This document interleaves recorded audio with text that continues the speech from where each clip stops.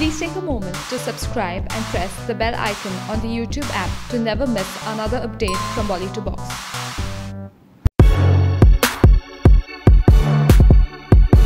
Finally, after a two day long ordeal, Salman Khan stepped out of jail in Jodhpur. The odds were against him as the bail plea had earlier been deferred for a day, and then today morning we got to know that the judge who was to hear the bail plea has been transferred.